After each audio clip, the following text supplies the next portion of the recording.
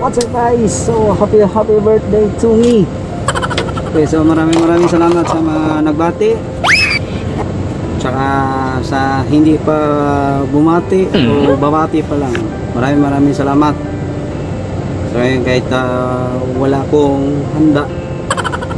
Uh, so pinapasalamatan ko pa rin kayo. Hmm? Ah, uh, lalong lalo na sa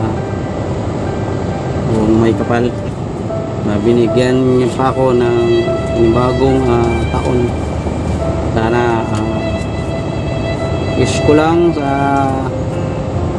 parawan kong ito na sana matapos na itong problema pandemya ngayon sa ating mundo. Yun lang ang wish ko. So ingat kayo guys. Thank you. Thank you sa lahat.